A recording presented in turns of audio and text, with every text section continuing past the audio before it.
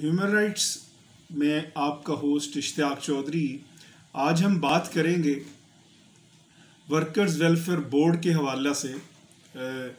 ये जानना ज़रूरी है कि वर्कर्स वेलफेयर बोर्ड आखिर है क्या?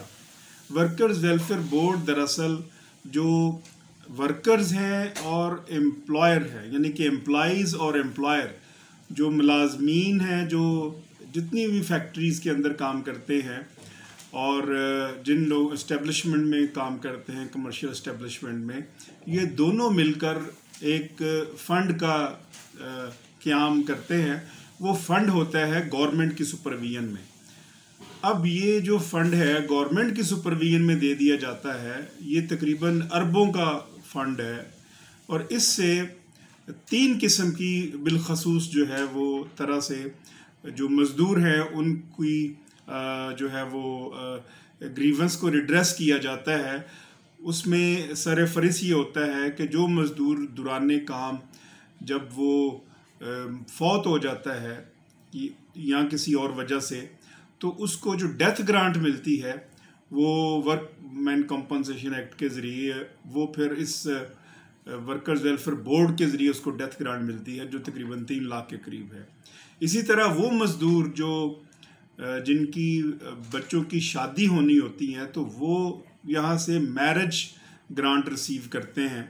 और कोई लाख डेढ़ लाख के, के करीब जो है वो और वो फिर मैरिज ग्रांट से अपनी जो बेटी या बेटे की जो शादी है वो करते हैं। और तीसरा जो इम्पोर्टेंट फ़ंक्शन था इस वर्कर्स वेलफेयर बोर्ड का वो ये था कि जितने भी मज़दूरों के बच्चे हैं, तकरीबन कोई एक अंदाजे के मुताबिक तो पैंतीस हज़ार के करीब तलबा थे। जो मज़दूरों के बच्चे मुख्तलिफ़ यूनिवर्सिटीज़ में जो पढ़ते हैं तो वर्कर्स वेलफेयर बोर्ड उनको जारी करता है।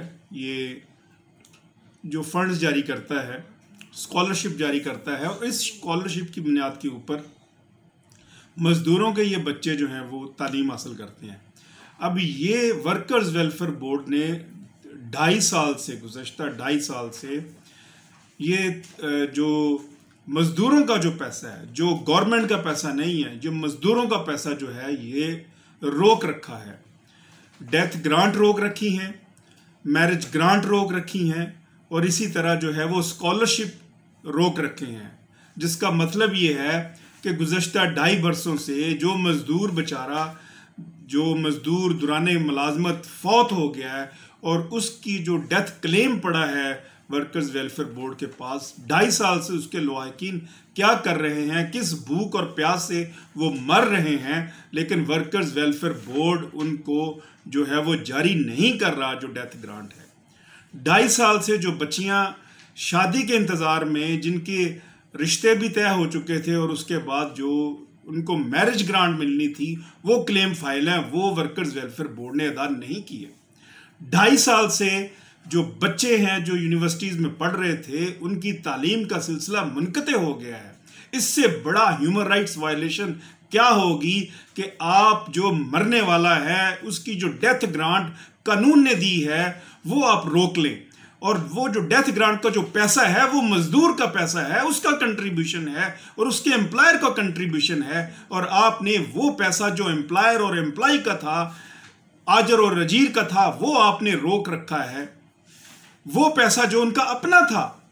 अब ये अंदाज़ा करें कि ये हाल है हमारे जो है वो अफसर शाही का और वर्कर्स वेलफेयर बोर्ड का, कि उनके कान पर जूं तक नहीं थी। भाई क्यों नहीं पैसे दे रहे आप वर्कर्स को? भाई ये आपका अपना माल है। ये आपके अपने को अपनी पर्सनल पॉकेट से देना है। बहुत अफसोस की बात है।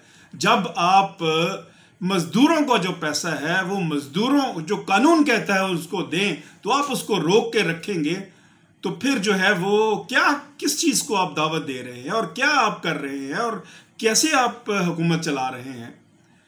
बहुत चंबे की बात है। लेकिन चूँकि मजदूरों का पैसा है, इस वजह से किसी को एहसास ही नहीं है। हमने देखा कि इसी मज़दूरों के पैसे में जब ई ओ बी आई का स्कैंडल सामने आया, वो जो मिर्ज़ा साहब थे, हम सब जानते हैं, जफ़र गोंदल सॉरी जफ़र गोंदल साहब का स्कैंडल बिलियंस की करप्शन है अरबहा की करप्शन है, और वर्कर वेल्फ वर्कर्स वेलफेयर बोर्ड में भी इस वक्त जो है वो अरबों का फंड है। अरबों का फंड है और चंद हज़ार के जो मुलाजमीन हैं, जो मजदूर हैं, उनको अब नहीं दे रहे।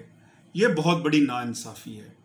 ये उनके जो फंडामेंटल राइट्स हैं, ये उसकी वायलेशन हो रही है। इस वजह से मैं इस प्रोग्राम के तवसत से ये रिक्वेस्ट करूँगा प्राइम मिनिस्टर ऑफ़ पाकिस्तान से।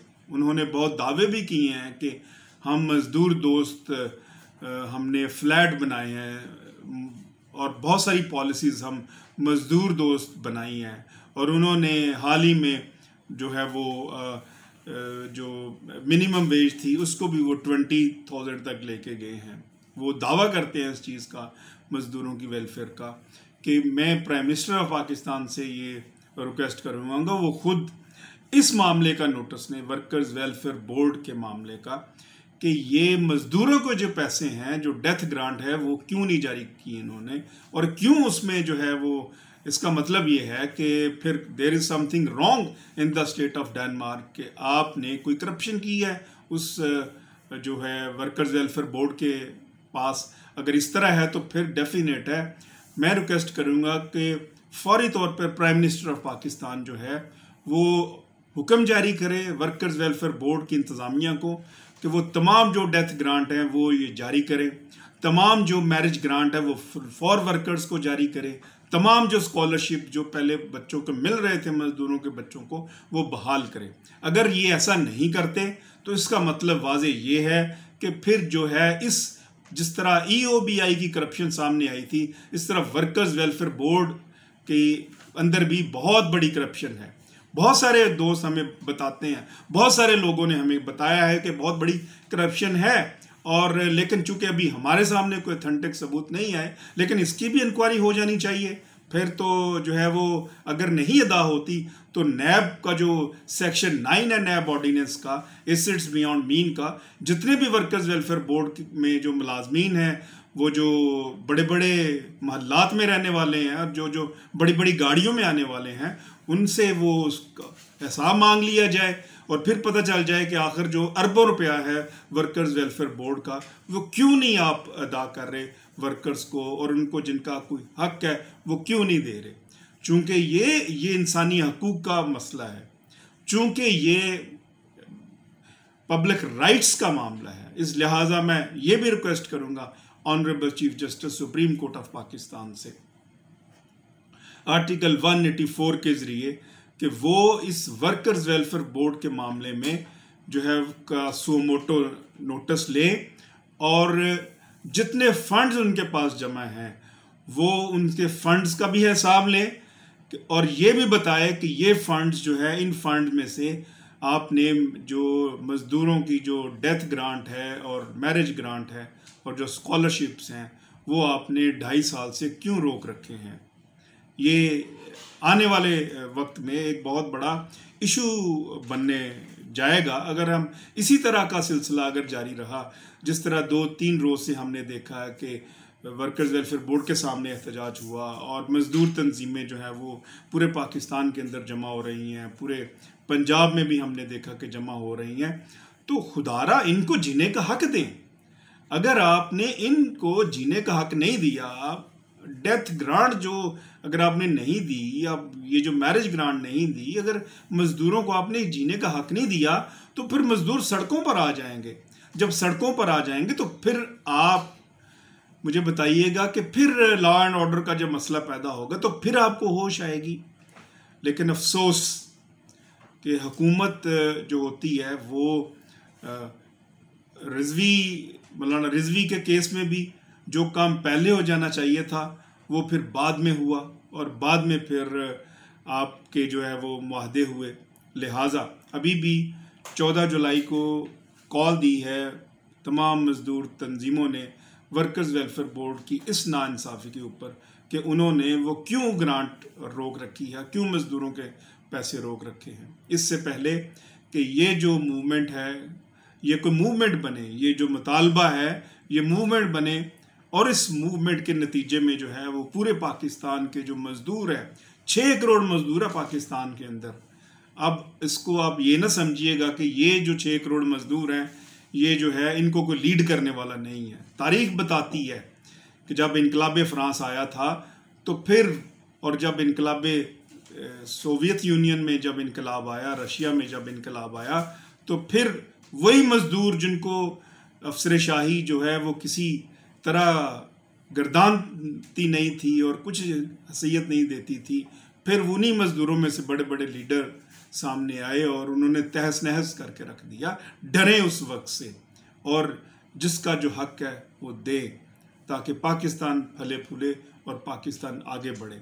हम वर्कर्स को, मज़दूरों को उनका हक देकर ही एक बेहतर पाकिस्तान पैदा कर सकते हैं और बना सकते हैं। अगर हमने मज़दूरों के साथ नाइंसाफ़ी की, अगर हमने उनका जो आइन और कानून में जो दिया हुआ हक है, उनका सलब किए रखा तो फिर वो वक्त दूर नहीं जब ये मज़दूर अपने हकूक़ के लिए उठ खड़े होंगे।